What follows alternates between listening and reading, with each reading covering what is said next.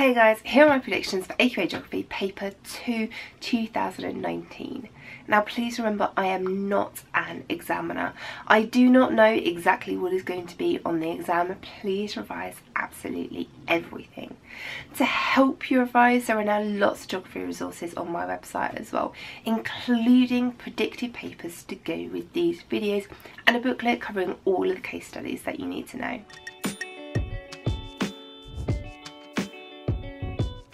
First thing you need to remember is that you have options in the exam as well as in life in general so please make sure that you do the right questions for the right option in this paper. There were lots of challenges in industrialised areas so I want you to look at the issues surrounding the challenges, the opportunities, the economic situation involved in industrialised areas. Oh, Urban growth can lead to challenges in accessing services such as health and education. It can lead to challenges accessing things like water energy, other resources, and then there are going to be economic restrictions as well. In the changing economic world, you need to look at strategies to reduce the development gap. In the post-industrial economy, you need to look at the impact on the physical environment and the negative impact of transnational corporations. Things like agribusiness, local food supplies and renewable energy. And then you need to pick from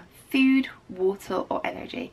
And in the exam, please do the one that you studied in class. Look at specific examples on how you can increase supply, how you can increase the impact of increasing supply and transferring this resource from one place to another.